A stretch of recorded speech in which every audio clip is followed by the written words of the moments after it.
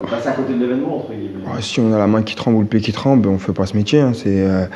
voilà, on, sait qu'il y, a, de la pression, il y a de la pression positive, il y a de la pression négative aussi, mais, mais on le sait, on le savait avant de commencer, donc euh, je pense que c'est pas maintenant qu'il faut, se pisser dessus, au contraire, c'est maintenant qu'il faut montrer que, qu'on en a et, justement essayer de, négocier cette semaine -là de la meilleure façon possible pour, euh, pour qu'on puisse s'extirper un peu de, de ce truc dégueulasse dans lequel on est.